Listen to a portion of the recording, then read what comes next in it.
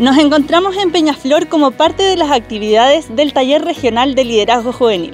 Esta semana tenemos la oportunidad de compartir con jóvenes provenientes de diversos países de América Latina y el Caribe. Es por eso que vamos a conversar acerca de su rol en los sistemas agroalimentarios y sobre cómo podemos hacer que estos sistemas funcionen mejor para ellos. Acompáñanos.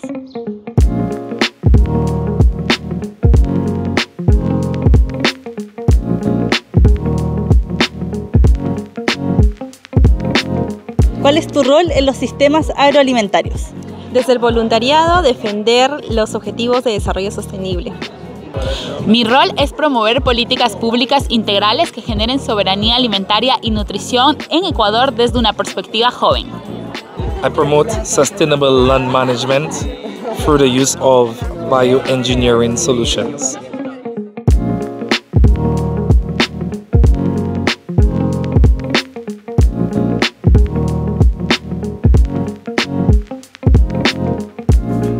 ¿Qué desafíos enfrentas a la hora de realizar tus actividades?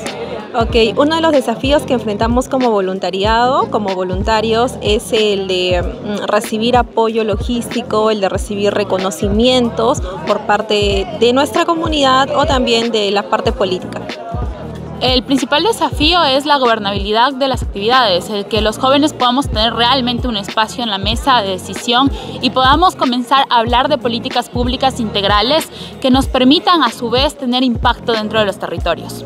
One of the challenges that we face, I think the, the most important one is the engagement of young people because young people are working in many spaces, the resources are there, the people with the resources are not engaging the young people. The young people have a lot of solutions, a lot of ideas. They're very creative, very innovative, and they, need to create more spaces where you can bring them in. So together, we can work on the problems affecting food and agriculture.